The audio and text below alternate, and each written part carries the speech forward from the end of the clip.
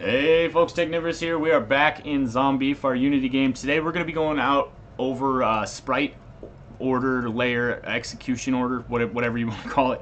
Uh, basically, this is the order in which your sprites show up on the map. And as you can see here, you can barely tell, but if I zoom in a little bit closer, you can see that this grass tile is being laid on top of the corner of my barn. Now that wouldn't be such a big deal if it was down on these squares, but uh, it looks really funky there. So the way to fix this is to take the object, in my case the barn, and right now it's at negative 5. That's the order in the layer. Everything's going to start off at 0.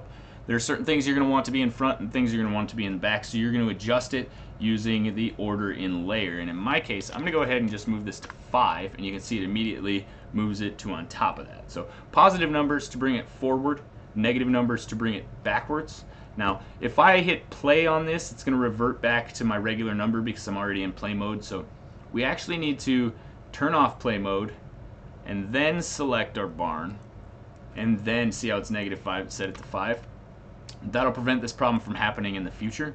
So I'm going to go ahead and hit play. Hopefully we get a good example of, of how this is working here.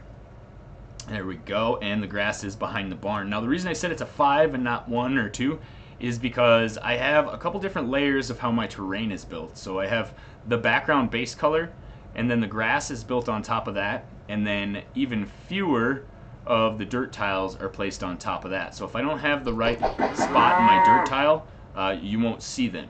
Uh, if I put this on layer 1, it'll be in between the grass and the dirt. And then, of course, the grass here is on layer 2, so whether it shows up in grass or dirt, it's on top of everything. So the cows do walk underneath the tall grass, and I don't really mind that so much.